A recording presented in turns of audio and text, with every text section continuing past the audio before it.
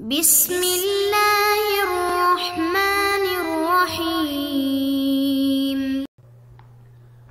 اللهم صل على سيدنا ومولانا محمد افضل صلواتك بعدد معلوماتك وبارك وسلم وصل عليه بسم اللہ الرحمن الرحیم عزیز طلباء کرام مختارات من ادب العرب سے بحمد اللہ تعالی آج ہمارا سبق نمبر ایک سو تیرہ ہے اور مضمون سیدی احمد الشریف السنوسی و رحمۃ اللہ علیہ کا ایک اور حصہ آپ کے خدمت میں پیش کرنے جا رہے ہیں۔ تو بڑھتے ہیں اپنے سبق کی طرف۔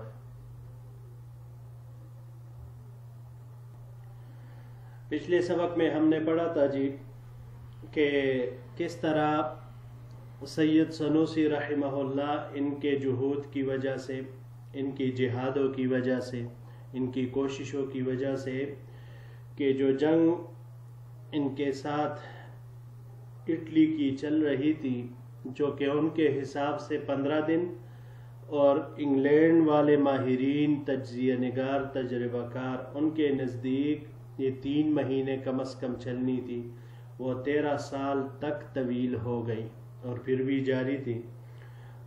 اسی طرح یورپ والے سلطان عبد الحمید رحمہ اللہ پر مسلسل دباؤ ڈال رہے تھے اور ان کو کہہ رہے تھے، مطالبہ کر رہے تھے کہ افریقہ میں سید مہدی کو اپنے حرکات وغیرہ سے روک دیا جائے تاکہ یہ عیسائی مشنری اپنے کام آسانی کے ساتھ اپنی تبلیغ وغیرہ یہ کر سکے۔ تو بہرحال یہ وقتاً فوقتاً ان پر اپنا دباؤ وہ ڈالتے رہیں لیکن سبق کے آخر میں پھر ہم نے پڑھا تھا کہ سلطان عبد الحمید رحمہ اللہ ان کو مختلف بہانوں سے ڈیل دیتے رہے ٹالتے رہے اور ان سے مختلف عذر کرتے رہے۔ اب عذر کرنے کے بعد کیا کر رہے تھے تو آگے ذکر فرما رہے بلکان یولاطف السنوسی کثیرا بالہدایا والکتابات۔ بلکہ سنوسی رحمہ اللہ کے ساتھ ہدایہ اور خطوط کے ذریعے بہت ہی مہربانی اور دلداری کیا کرتے تھے۔ الا ان اشتد الذوق علی سلطان فی قضیت السنوسی، یہاں تک کہ سنوسی رحمہ اللہ کے معاملے میں سلطان پر دباؤ مزید سخت ہوا۔ فارسل رجلا اسمه عصمت وق الى بن غازی۔ تو انہوں نے عصمت بیگ نامی ایک شخص کو مغازی برقع کی طرف بیچ دیا۔ ومنہا علاج غبوب بمأموریت سریت۔ اور وہاں سے بہت اہم ایک خفیہ پیغام کے ساتھ جو غبوب نامی علاقے کی طرف بھیجا۔ فبلغ المہدی ما ہوا علیہ السلطان من الارتباق من جہت ذات الدول علیہ فی امر دعایت السنوسیہ۔ تو حضرت مہدی رحمت اللہ علیہ کو اطلاع مل گئی کہ سلطان ان مملکتوں کی طرف سے کس طرح دباؤ کی وجہ سے جو مقدمہ سنوسیہ کے اوپر ڈالا گیا ہے، وہ اس سے کتنے تردد میں ہیں۔ فأجابه السید مہدی بحسب ما قرأت فی التاریخ الذي تقدم ذکره بکلام لا يتضمن نفیا ولا ایجابا تو مہدی رحمہ اللہ نے ان کو ایسا جواب دیا کہ جو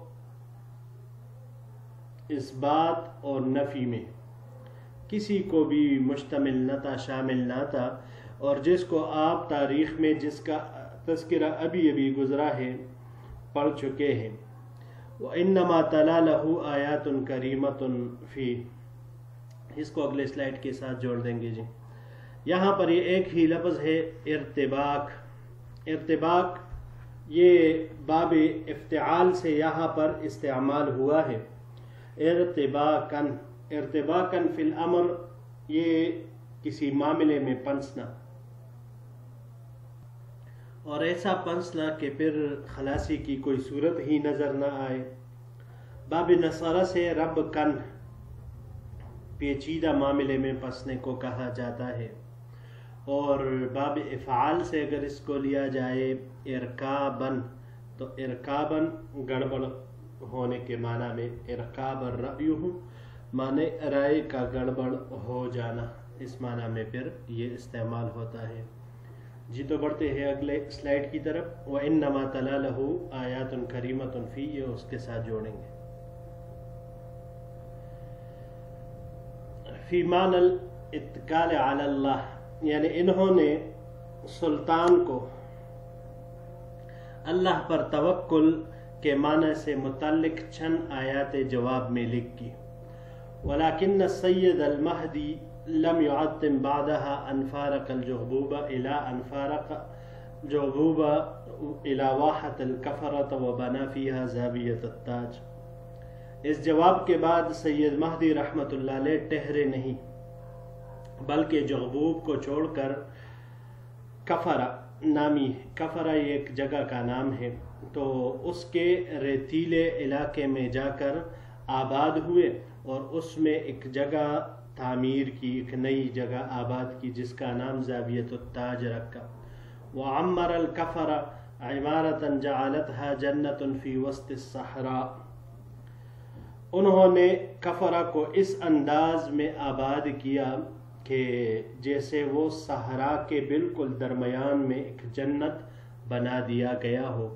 والاغلب ان سبب تحوله من واحة الجعوب القريبة من مصر وبرقى الى واحة الكفرة التي هي في اواسط الصحراء الكبرى۔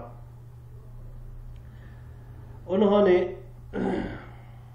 جعبوب کی ریتیلی زمین سے جو کہ مصر اور برقہ کے قریب تھی۔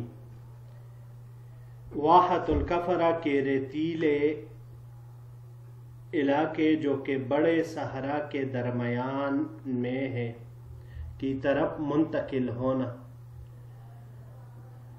ثم توغله من الکفرت الى ناحیت قرو پھر کفرہ سے قرو کے ایک کونے کی طرف منتقل ہونا، التي اختارہ اللہ فیہا۔ وہ جس کو اللہ نے چن لیا تھا، وہی علی ابواب السودان، جو کہ سودان کے دروازوں پر ہے، ہما من ارتیاحی العزلہ۔ تو ان دونوں جانب حضرت مہدی رحمت اللہ علیہ کا منتقل ہونا لوگوں سے علیحدہ ہو کر یہ راحت پانا تھا۔ وہ میلی ہی التنائی عن مراکز السلطت الرسمیہ اور حکومتی مراکز کو چھوڑنے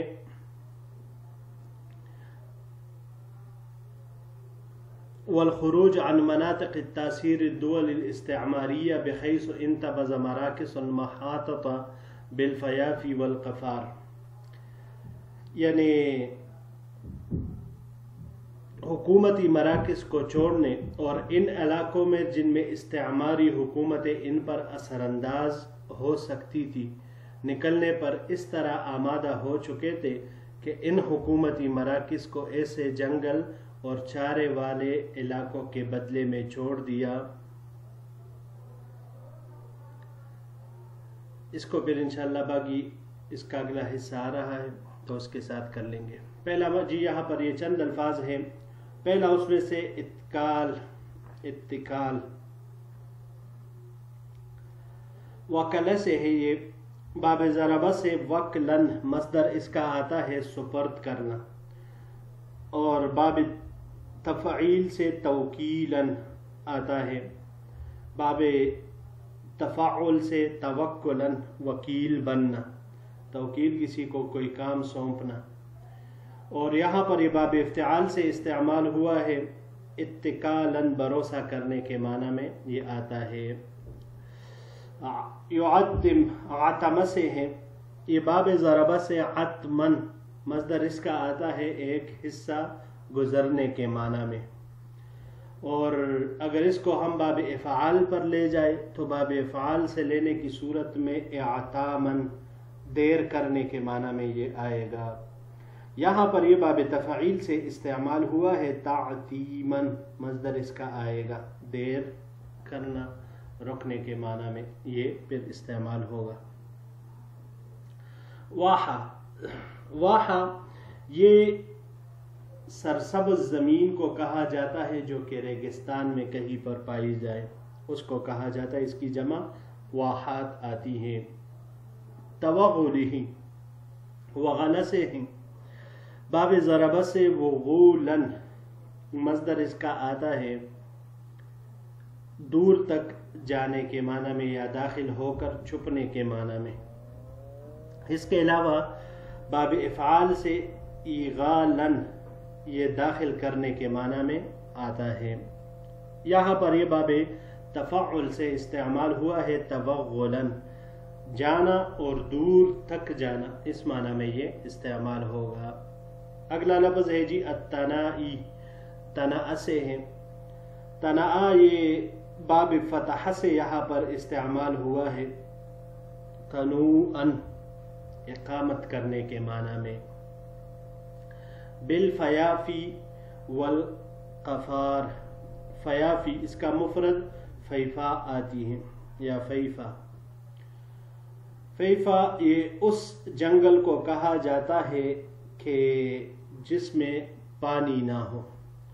اور قفار قفار اس کی جمع یہ جمع ہے، مفرد اس کا قفر آتا ہے، القفر۔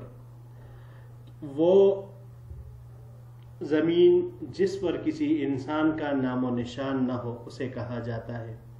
باب نصر سے یہ یہاں پر استعمال ہوا ہے۔ قفرن مصدر اس کا آتا ہے تلاش کرنے کے معنی میں۔ اور باب سمع سے اس کو لیا جائے تو قفرن کے حرکت کے ساتھ آئے گا، یہ کم ہونے کے معنی میں۔ اور باب افعال سے اگر اس کو ہم لیں تو اکفر یکفر اقفارن، یہ بیابان یا بے آب و گیاہ کی طرف جانا اس معنی میں۔ اور اس کے علاوہ یہ باب تفعیل سے بھی استعمال ہو سکتا ہے۔ تقفیرن تقفیرن یہ جمع کرنے کے معنی میں یہ آئے گا۔ بڑھتے ہیں جی اگلے سلائڈ کی طرف۔ محولت باقوام لا يزالون على الفطرہ۔ یعنی ان کا یہ آبادی سے منتقل ہو کر ایسے صحرا اور بیابانوں میں منتقل ہونا، یہ اس لیے تھا کہ یہ ایسی قوم کے پاس جائے کہ جو کہ فطرت پر قائم ہو۔ اب جب انہوں نے یہ کر لیا تو پھر آگے انہوں نے کیا کیا اقدامات کیا فاصبح حرا في بس دعوته لا تصل اليه يد يد تو وہ اپنی دعوت کے پھیلانے میں اس طرح آزاد ہو گئے کہ کسی ظالم کا ہاتھ ان تک نہیں پہنچتا تھا۔ ولا تعلو فوق کلمته کلمت اور نہ ان کی بات پر کسی کی بات غالب آتی تھی۔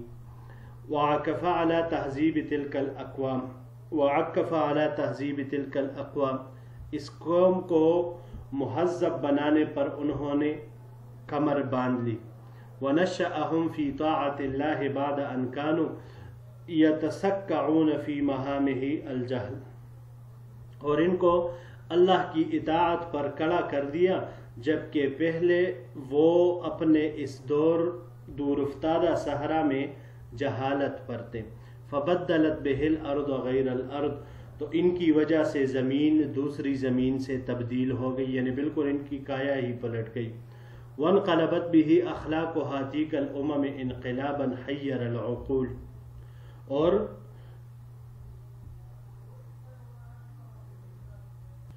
ان قوموں کے اخلاق میں حیران کن تبدیلی آ گئی۔ ولم يقف في دعایت الروحیت على واحات الصحراء واطراف السوادین۔ انہوں نے اپنی اس اصل دعوت میں صرف صحرا اور ریتیلے علاقے اور سوادین پر اکتفا نہیں کیا، بل بس دعاتہ فی اواسط افریقیہ، فکان منہم مثل الشیخ محمد ابن عبداللہ السنی والشیخ حمودت المقعاوی والسید طاہر الدمغاری ورجالات آخرون جالو السوادین مبشرین وہادین۔ بلکہ انہوں نے اپنی دعوت کو وسط افریقہ میں بھی پھیلایا۔ سوادین میں خوشخبری دیتے ہوئے اور رہنمائی کرتے ہوئے جو حضرات وہاں پر مبلغین کی حیثیت سے پھرے۔ ان میں شیخ محمد عبداللہ ابن عبداللہ السنی شیخ حمودت المقعاوی اور سید طاہر الدمغاری اور دیگر حضرات یہ قابل ذکر ہے جی یہاں پر یہ چند الفاظ ہیں۔ پہلا اس میں سے مأہولہ۔ یہ احالہ سے ہے احالہ باب ضربہ اور نصارہ سے اہلن، اہولن۔ مصدر اس کا آتا ہے۔ تو شادی شدہ ہونے کے معنی میں، اہل و عیال والا ہونے کے معنی میں، یہ باب سمعہ سے ویسے یہاں پر استعمال ہوا ہے اہلن ہا کے حرکت کے ساتھ آباد ہونے کے معنی میں۔ باب افعال سے اگر اس کو لیا جائے تو باب افعال سے اس کا مصدر ایحالن شادی کر دینے کے معنی میں یہ استعمال ہوتا ہے۔ اور باب تفاعل سے جب ہم اس کو لے تأہلن تو یہ لائق ہونے کے معنی میں شادی شدہ ہونے کے معنی میں یہ آتا ہے۔ عکفہ عکفہ۔ عکفہ یہ باب ضربہ اور نصرہ سے عکفن کسی چیز پر رو کے رکھنا، باندھے رکھنا، اس معنی میں یہ آتا ہے۔ باب تفعیل سے لیا جائے تعقیفن تو کسی شے کو تہ بتہ رکھنا۔ اس معنی میں یہ استعمال ہوتا ہے۔ اور باب افتعال سے اعتکافن بند رہنے کے معنی میں۔ اعتکاف کو بھی اعتکاف اسی لیے کہا جاتا ہے کہ وہاں پر انسان مسجد میں ہی اندر اپنے معمولات میں وہ بند رہتا ہے۔ جی اگلا لفظ ہے، یتسکعون۔ سکع یہ باب سمعا اور فتح سے سکعن، اور سمعا سے سکعن، لا علمی میں پھرنے کے معنی میں یہ آتا ہے۔ یہاں پر یہ باب تفاعل سے استعمال ہوا ہے۔ تسکعن، مدت تک باطل میں رہنا۔ یعنی یہ لوگ جو ان صحراؤں میں رہتے تھے، وہ اپنی جہالت میں ایک عمر گزار چکے تھے۔ فی مہامی مفرد اس کی مہ مہ آتی ہے۔ یہ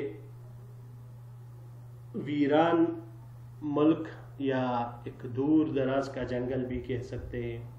بڑھتے ہیں جی آخر اسلائٹ کی طرف۔ فقان السید المہدی هو المزاحم الاکبر لجمعیات المبشرین العربیہ پورے افریقہ میں پہلے ہوئے یورپین مبشرین یعنی عیسائی مبلغین، مراد ہے اس سے۔ کہ جماعتوں کے سب سے بڑے مزاحم و سید مہدی رحمۃ اللہ علیہ تھے۔ والمنبثت فی قارت افریقیت کلہا۔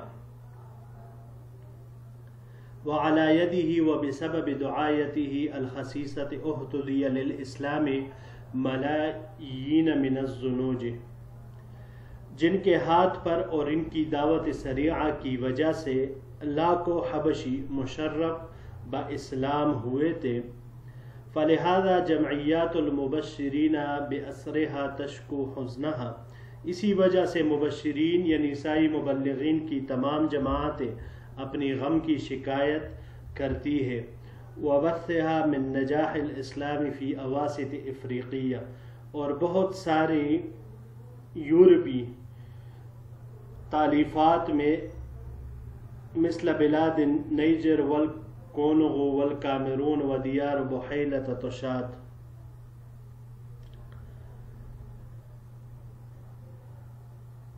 وتوجه أكثر شكواها إلى الطريقة السنوسية كما قال عن ذلك في مؤلفات أوروبية عديدة کہ بہت ساری یورپین تعلیفات کا مطالعہ کرتے ہوئے اسی قسم کی شکایتیں وہ ملتی ہے کس بارے میں؟ کہ وسط افریقہ کے ان علاقوں میں اسلام کی اشاعت وہ ان کے عیسائی مبلغین کی تبلیغ کو روک رہی تھی۔ کون کون سے ملک تھے جیسے نائجیریا، کانگو، کیمرون اور کیمرون کے شہر اور بحیرہ کے بلند کیے گئے علاقے۔